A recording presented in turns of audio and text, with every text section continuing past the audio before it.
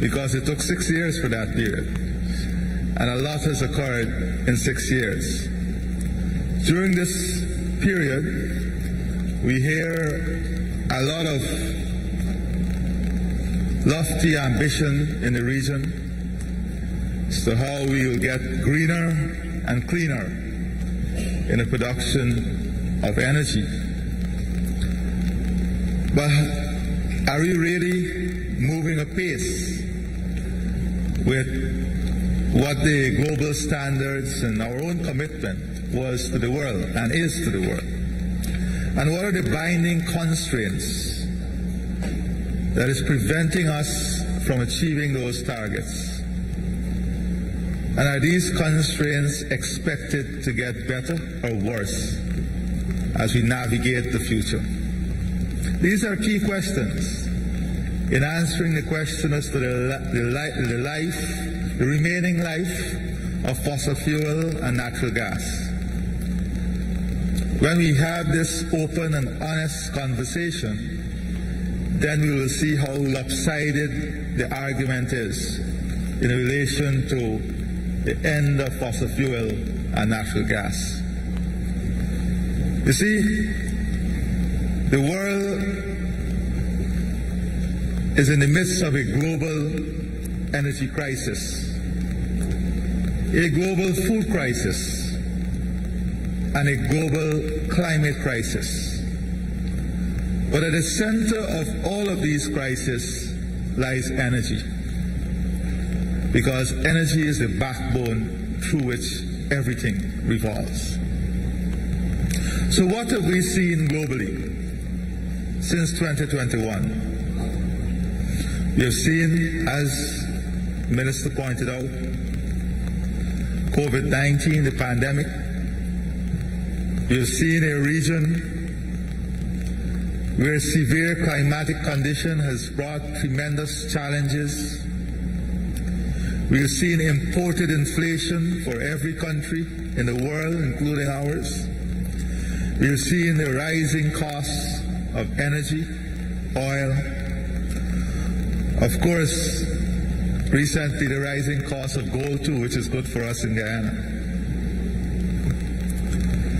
But we have seen some strange movements also. Whilst these crises are coming at us like a tsunami, we have seen some strange movement, in my view, not rooted in facts and reality, but rooted in a policy agenda driven by a few countries. We have seen an unwillingness to lend to companies related to oil and gas. We have seen the cost of capital increasing for companies related to oil and gas. And my answer is a very simple one. If you increase the cost of capital and make capital less available to investors, whenever they get the capital to invest, they will also increase the cost of the product because they also have to get back their investment.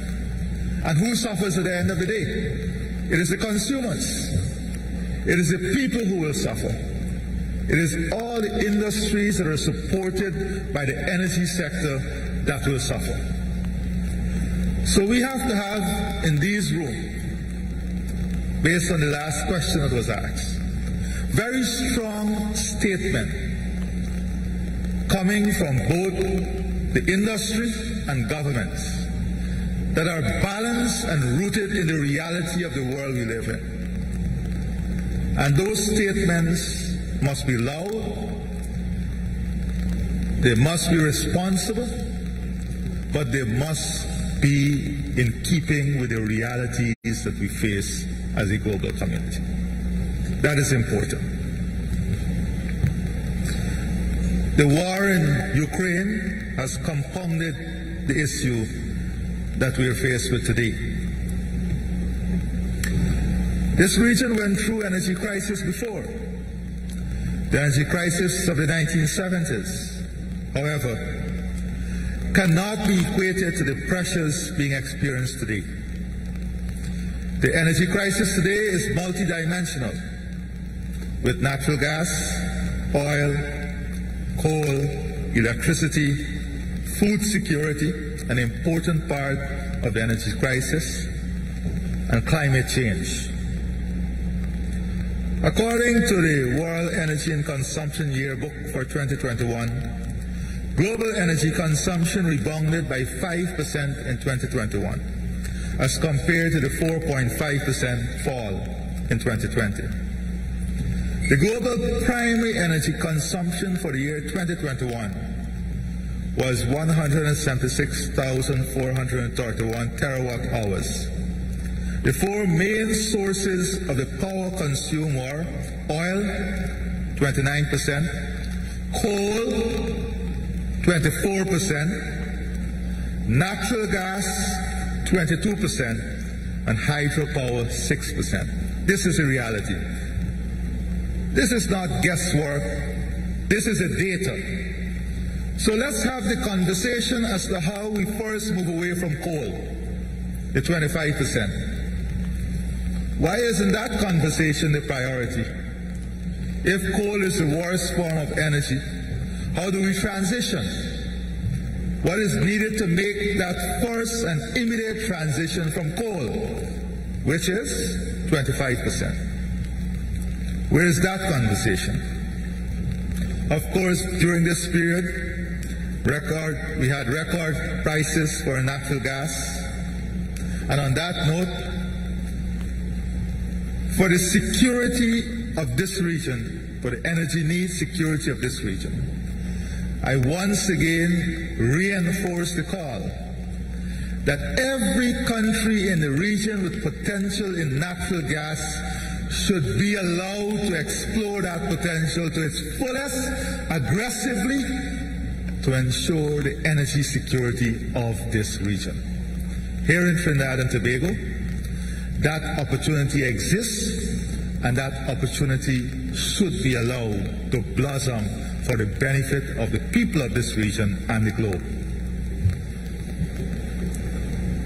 Higher energy prices for both developing and developing countries meant what? It meant higher electricity costs, transportation costs, consumable goods costs went up. It contributed painfully to high inflation. Much of our inflation is imported as political leaders and policymakers, we have to face that reality of an inflation that is not as a result of bad policies or measures, but is an inflation that is important, imported as a result of global conditions. This has pushed many families into poverty and food insecurity. It has forced some factories to curtail output or shut down and it slowed economic growth to the point where some countries are heading towards severe recession. This is the reality of the world we live in, of the region we live in, as a result of an energy crisis. That is plainly what it is. Many times when you think about food insecurity and hunger, our minds automatically are programmed to look at Africa. But if you look at the data now, the Latin American and Caribbean region is becoming the fastest, most aggressive in food insecure region in the world. That is the reality. That is what that is the complexity of what we are facing. So faced with energy shortfalls and high prices, advanced countries, governments, so we normally hear a lot of the policies that are directed by many of the advanced countries. But you know what they were able to do?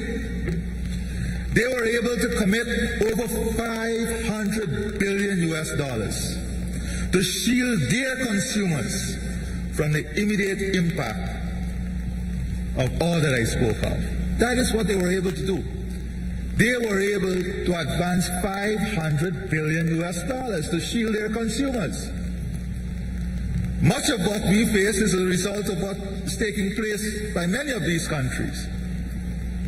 We face climate crisis. We're worse. We have the worst vulnerability to the climate event. Not even 10% of that, not even 5% of that is advanced adaptation and mitigation in the region. So what are we, what are we supposed to do? What are we supposed to do? Are we just to sit back and say, okay, we're going to go green, and then who's going to finance the capital? I'm going to come to that. In our limited capacity, if you look at the policy measures governments in this region took to cushion the pass-on effect of this inflation, it is remarkable by any standard. And I'm not saying this. Read the IDB report and the IMF report. It identifies by country in the region the type of measures we took to limit the impact of this on the consumers. Just you just have to read the report. And you will see that with our limited capacity, what we have done. In Guyana today, we have no other room to deal with the increases in fuel prices. We have took every cent of tax off. Every cent of tax off. What more? Together with short-term measures, government must take long-term steps, either to increase or diversify oil and gas supply, or look to accelerate structural change. Very simple. So we are about to implement an energy policy that requires tremendous capital investment if we are to achieve the targets that the region pledged. In an environment where most of the countries in the region are heavily indebted, there is no fiscal room to accommodate this investment. So what we have to focus on is exactly what you did this morning. Government's responsibility is to create the overarching frame, the policy direction, create the vehicle and mechanism through policies and relationship building that enables the private sector to make informed decisions in this energy transition. We live in a region that is blessed with some countries with tremendous potential in resolving our energy requirement. But not only our energy requirement in CARICOM, but if you look at what Cuba, DR, Haiti eventually, and going up the Guyana Shield with Suriname, French Guyana, Guyana, Northern Brazil, it is an enormous opportunity for a holistic conversation on securing our energy requirement for the region along the corridor, both in demand and in supply. And that is the type of conversation and frame that we, I think we have to adjust our minds to. How do we integrate the planning? How do we integrate the thinking? How do we create a structural framework and an ecosystem to support this if we really want to target it as an opportunity? So the Caribbean Sustainable Energy Roadmap and Strategy, which was approved to support the energy policy of the region, sets initial regional level targets for renewable energy contribution to total electricity generation in CARICOM. And what are those targets? 20% renewable by 2027, 28% by 2022, and 47% by 2027. What is the reality? The report card as of 2020 shows that only 11.5% renewable energy was achieved. 11.5%. So realistically, if we are so far behind the target that was set, and we have all the natural disasters, because one natural disaster can wipe out GDP, you have to go back to more fundamental things. Sometimes you have to rebuild an entire transmission line, transmission uh, system. Where is that capital cost coming from? We have not seen a single announcement by any of the multilateral agency of a window, a financing window to support this ambition. For a matter of fact, you would be so shocked to know that the only known available financing to achieve this target is with CDB with a loan portfolio of 1.4 billion US dollars. This is the reality. This is not skirting around the issue or intellectually tampering with the issue. There's a lot of intellectual tampering with issues that does not fit into reality these days. But we have the responsibility as policymakers to fit things in its realistic environment and construct. So what is the estimated renewable capacity across the region? It is 1.7574, 1,574 megawatts. But what would it require? What is the capital that is required? You're talking about a minimum of 11 billion US dollars to start with in achieving the most fundamental of targets. So we can safely say that in this region, fossil fuel and natural gas has a long future ahead of us. It's, uh, it's not a big scientific analysis that is required. It is based on what is before us.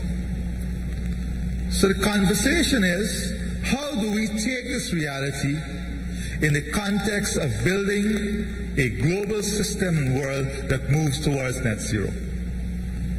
How do we do it? How do we use the revenue to build such a system? How do we reduce our carbon footprint? How do we catalyze the revenue to open up new sectors, greener technology, to ensure that the viability of our countries and the viabilities, the viability of the people in our countries is also secured whilst we go on the green pathway. We have started to do a lot of that. Uh, in Guyana, we recently signed an end user agreement in carbon credit sale to Hess. So we have to innovate. In this industry today, you have to be nimble, flexible, innovative, because the noise can drown you out very easily. The noise can drown us out very easily. So we in CARICOM all have lofty renewable energy targets. But the reality is that the energy demands in our countries continue to rise, and our energy systems are being challenged to meet our growing population centers and appetite for energy services. If you go through all the countries in the region and say, what is your priority in energy now? They will tell you the efficiency in the transmission system. And we can't even raise the capital sometimes to deal with the improvement of the transmission system to give you that efficiency. So while still quite capital intensive, renewable energy will and must be pursued. That will be very clear. This is not an argument against renewable energy. We must pursue every opportunity at renewable energy, and we have tremendous opportunity. So we must pursue these opportunities. However, the intermittent energy sources, such as solar and wind, are being deployed at an unprecedented level. But remember that this technology that is being deployed at an unprecedented, un, at an unprecedented level. This technology that is being deployed at an unprecedented level does not come foolproof. If you don't believe me, ask those who are trying to get batteries today. Where are the batteries coming from? Where will the replacement come from? What are the natural sources of the battery? And what is the viability of those sources? Where is the assessment of that? Who is doing the assessment? These are questions we have to answer. Because if we build our entire system on solar, and 25, 30 years from now we are faced with these challenges, what are we going to say to the population?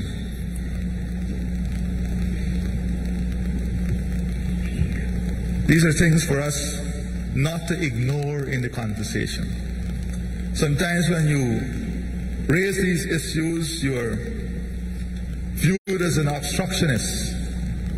But it's not really being an obstructionist, it's looking at the reality. And we have to deal with this reality. And that is what these conferences should do. Deal with this reality and the practicality of the environment in which you operate. So many times, one of my disappointments in conferences is that there is no outcome documents. There should be an outcome document that feeds in, that must feed into the global system, to tell the global system how the region is thinking, to tell we will get. I think I'm over my time. That is the only way, my dear friend, Dr. Rowley, I, I borrow one minute from you in, in, uh, in keeping with our regional strategy of cooperation. So, I just want to end by saying, let this conference be the starting point for our own thinking. Our own thinking and our own positioning. That is important for us as a region. Not the fanciful dance, but the practical steps that will secure us, secure our future, and advance our cause. I thank you and God bless all of you.